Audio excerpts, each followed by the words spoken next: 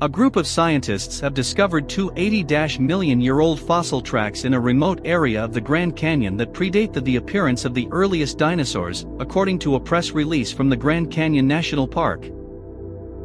According to the press release, an international team of paleontologists discovered extremely well-preserved trackways of primitive tetrapods, four-footed animals, which inhabited an ancient desert environment.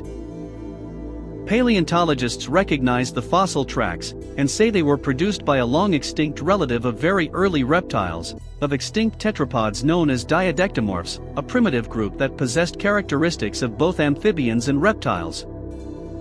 The characteristics of the newly discovered tracks suggest the creature that made the prints walked on all four legs, with each foot containing five clawless digits. Although the actual track maker for the Grand Canyon footprints may never be known, the Grand Canyon trackways preserve the travel of a very early terrestrial vertebrate, the press release stated. Scientists from the Australian National University, ANU, and overseas have discovered molecules of fat in an ancient fossil to reveal the earliest confirmed animal in the geological record that lived on Earth 558 million years ago. The strange creature called Dickinsonia, which grew up to 1.4 meters in length and was oval-shaped with rib-like segments running along its body, was part of the Ediacara biota that lived on Earth 20 million years prior to the Cambrian explosion of modern animal life. ANU PhD scholar Ilya Bobrovskiy discovered a Dickinsonia fossil, so well preserved in a remote area near the White Sea in the northwest of Russia, that the tissue still contained molecules of cholesterol, a type of fat that is the hallmark of animal life. Lead senior researcher Associate Professor Jochen Brocks said the Cambrian explosion was when complex animals and other macroscopic organisms such as mollusks, worms, arthropods and sponges began to dominate the fossil record. The fossil fat molecules that we found prove that animals were large and abundant 558 million years ago, millions of years earlier than previously thought, said Associate Professor Jochen Brocks from the ANU Research School of Earth Sciences. Scientists have been fighting for more than 75 years over what Dickinsonia and other bizarre fossils of the Ediacaran biota were, giant single-celled amoeba, lichen, failed experiments of evolution, or the earliest animals on Earth.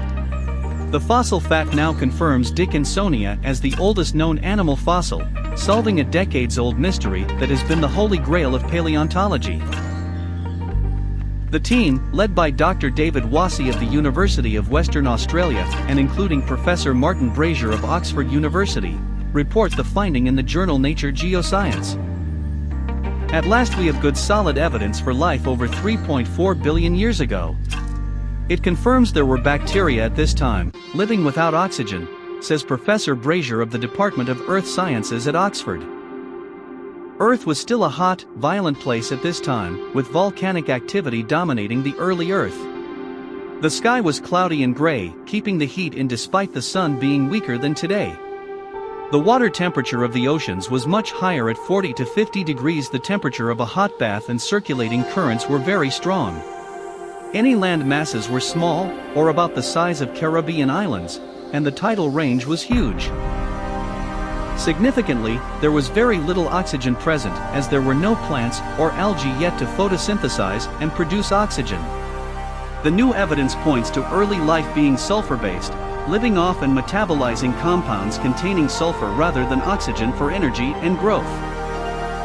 Such bacteria are still common today, Sulfur bacteria are found in smelly ditches, soil, hot springs, hydrothermal vents anywhere where there's little free oxygen and they can live off organic matter, explains Professor Brazier. The microfossils were found in a remote part of Western Australia called Strelley Pool. They are very well preserved between the quartz sand grains of the oldest beach or shoreline known on Earth, in some of the oldest sedimentary rocks that can be found anywhere. We can be very sure about the age as the rocks were formed between two volcanic successions that narrow the possible age down to a few tens of millions of years, says Professor Brazier. That's very accurate indeed when the rocks are 3.4 billion years old. The microfossils satisfy three crucial tests that the forms seen in the rocks are biological and have not occurred through some mineralization process. The fossils are very clearly preserved showing precise cell-like structures all of a similar size. They look like well-known but much newer microfossils from 2 billion years ago, and are not odd or strained in shape. The fossils suggest biological-like behavior. The cells are clustered in groups, are only present in appropriate habitats, and are found attached to sand grains. And crucially, they show biological metabolisms. The chemical makeup of the tiny fossilized structures is right, and crystals of pyrite, fool's gold, associated with the microfossils are very likely to be byproducts of the sulfur metabolism of these ancient cells and bacteria. Early fossils of life on Earth has been a controversial area, in the past decade, the barriers that need to be overcome before claiming such evidence have been raised significantly, aided by new techniques for mapping the chemistry of rocks at fine scales. In 2002, the same Oxford group suggested well-known microfossils from the apex chert in Australia were not the preserved forms of ancient bacteria after all. They argued that the context, shape and mineralogy of the forms were all wrong for them to be of biological origin.